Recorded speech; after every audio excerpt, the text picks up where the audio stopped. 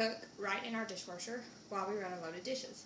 So say you're in an apartment and don't have a whole lot of stovetop space or oven space, the dishwasher is your next alternative to cook some holiday meal ingredients. So first we're going to start with mason jars. So they're great to put your ingredients inside, seal them up real tight, and run in the dishwasher to cook your meals.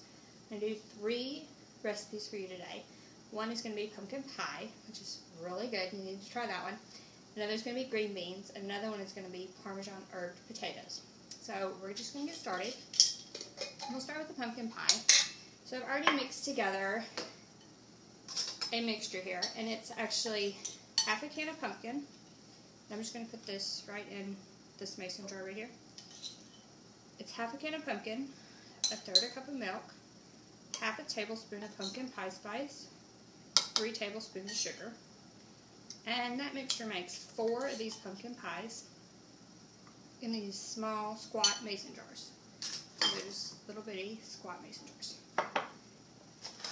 And now we're going to add a topping to that. So we need like a crunchy topping to go with pumpkin pie, right? So this is yellow cake mix. Any brand will do. Just about two tablespoons, and they're kind of heaping tablespoons, of cake mix. And then let's flavor that up a little bit. Pumpkin pie spice. So about half a teaspoon of pumpkin pie spice in there. I'm just going to mix that up. Sprinkle it on top of that pumpkin mixture that we already added to the mason jar. And then we want it to be a little crunchy, so we're going to add a few nuts to the top.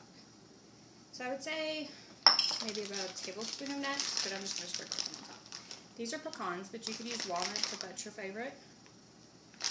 And then I had two tablespoons of melted butter, and I'm just going to drizzle that right over the top. And we have one pumpkin pie. Seal that up. It's ready to go in the dishwasher.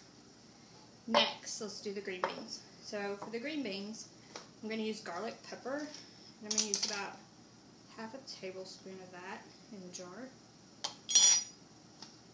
And I also keep my spices in mason jars, just in case you need some mason jar ideas. A sprinkle of sea salt. And then I just have these green beans from fresh green beans from the deli section of our local store.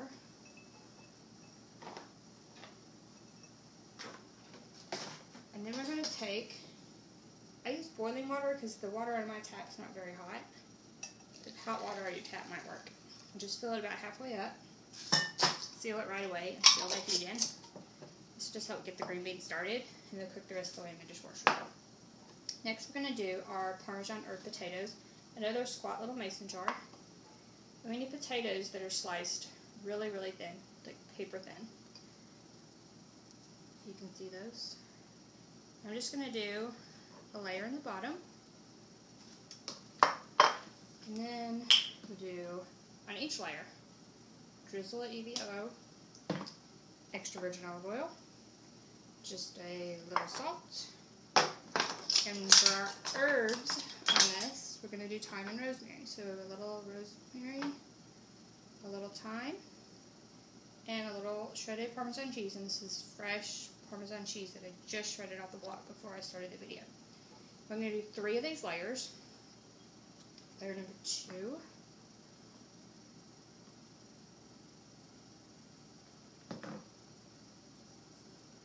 Go easy on the salt the first time I um, salted it too much. Salt to taste, of course.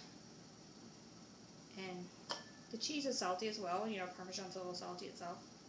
So go kind of easy when you're salting it. So this was one potato that I had sliced up here. And I still have mm, half a potato or so left.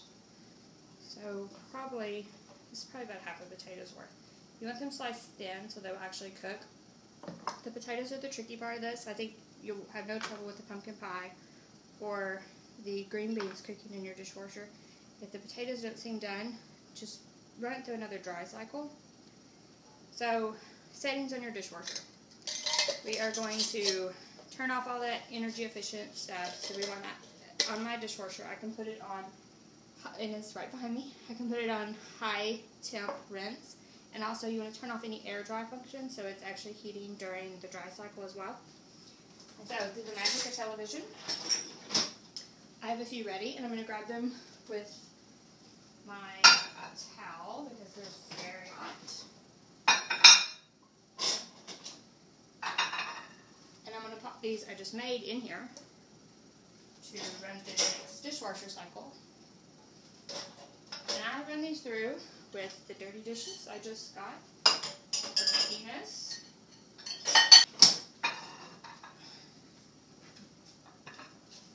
So you can pop in your dishwasher liquid or um, pod or whatever you use, just your detergent right in there. So here are the ones I just got out. They are hot. So let's start with the green beans, how shall we? So I, they actually almost seal themselves in the dishwasher. you can almost hear a pop if you heard that on there. And so we put that water in with the green beans, so you want to not get that any of that on your plate. So just kind of rake them out, and they are done and perfectly steamed right there in your dishwasher. While you're running a load of those dishes from all those other great things you're having for Thanksgiving dinner. That's very hot. Okay, this is the potatoes. And what I like to do with potatoes, these Manny Mason squat, these squat mason jars are so cute. I just like to put it right on the plate and eat them right out of there.